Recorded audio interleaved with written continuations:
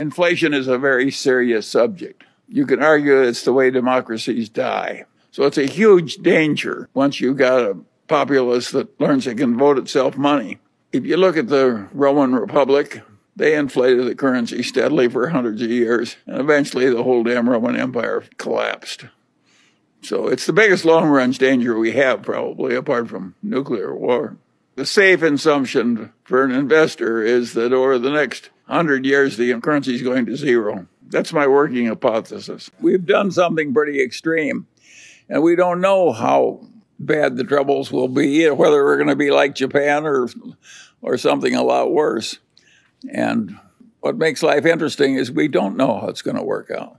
I think we do know we're flirting with serious trouble. I think we also know that some of our earlier fears were, were overblown. Japan is still existing as a civilized nation in spite of unbelievable excess by all former standards in terms of money printing. Think of how seductive it is. You have a bunch of interest bearing debts and you pay them off with checking accounts, which you're no longer paying interest.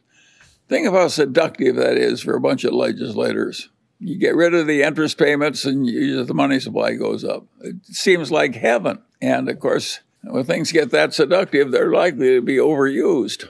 Not only do we have a serious problem, but the solution to it that is the easiest for the politicians and for the Federal Reserve, too, for that matter, is just to print more money and solve the temporary problems that way. And that, of course, is going to have some long term dangers. And, and we know what happened in Germany when the Weimar Republic just kept printing money. The whole thing blew up. And that was a contributor to the rise of Hitler. So all this stuff is dangerous and serious. And we don't want to have a bunch of politicians just doing whatever is easy on the theory that it didn't hurt us last time, so we can double it and do it one more time. And then we double it again and so forth. We know what happens on that everlasting doubling, doubling, doubling.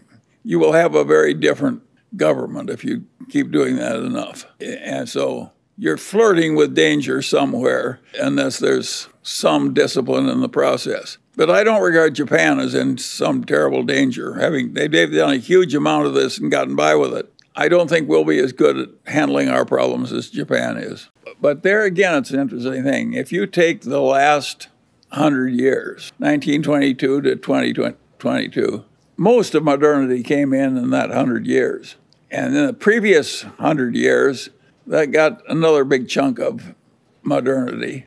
And before that, things were pretty much the same for the previous thousands a year. Life was pretty brutal and short, limited, and what have you. No printing press, no air conditioning, no modern medicine, no. And I don't think we're going to get things that were in what I call the real human needs. Think of what it meant to get, say, first you got the steam engine, the steamship, the railroad, and a little bit of improvement in farming and a little bit of improvement in plumbing. That's what you got in, the, in the 100 years that ended in 1922. The next 100 years gave us widely distributed electricity, modern medicine, modern oils, the automobile, the airplane, the, the records, the movies, the air conditioning in the South. Think what a blessing it was. If you wanted three children, you had to have six because three died in infancy. That was our ancestors. Think of the agony of watching half your children die. It just, it's amazing how much achievement there's been in civilization in these last 200 years, and most of it in the last 100 years. Now, the trouble with it is, is, is that the basic needs are pretty well filled. In the United States, the principal problem of the poor people is they're too fat that is a very different place from what happened in the past. The past, they were on the edge of starving. And what happens is, it's really interesting, is with all this enormous increase in living standards and freedom and diminishment of racial inequities and all the huge progress that has come, people are less happy about the state of affairs than they were when things were way tougher. And that has a very simple explanation. The world is not driven by greed, it's driven by envy. And so the fact that everybody's five times better off than they used to be They take it for granted. All they think about is somebody else has having more now, and it's not fair that he should have it and they don't.